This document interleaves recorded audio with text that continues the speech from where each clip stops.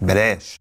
انت بتتكلم ان المخابرات البريطانية النهارده منزلة تقرير تقول لك ان الروس ابتدوا يمركزوا الطيارات بتاعتهم من طراز السوخوي 57 اللي ما دخلتش في اي معركة قتالية لأول مرة بيتم إنتاجها بغزارة وابتدى يتم رؤيتها في القواعد اللي هي على حدود خطوط المواجهة مع أوكرانيا. سوخوي 57 معنى كده إن روسيا بتعد لهجوم كبير جدا وهتستخدم فيه أحدث الأسلحة بتاعتها. وهنا هم بيقولوا في هجوم بيحصل دلوقتي وفي هجوم هيحصل. بنهايه الشهر ده وفي هجوم روسيا بتعد ليه في الربيع. وبيقال إن هجوم الربيع ده أو هجوم شهر مارس ده هيكون هجوم على العاصمة كييف. وده على فكرة أحدث تقرير طالع إن الروس بيعدوا لهجوم على العاصمه كييف نفسها.